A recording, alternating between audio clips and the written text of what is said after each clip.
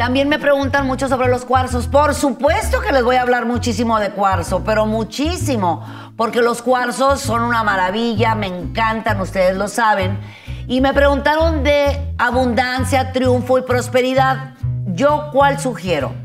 Ojo de tigre, citrina, aventurina y rutilado. Esos cuarzos no es que ah, ya los traigo ya, ya voy a tener siempre abundancia y prosperidad. Pues sí, no es porque los traigas, es porque al traerlos contigo va a armonizar tus centros de energía que son los chakras.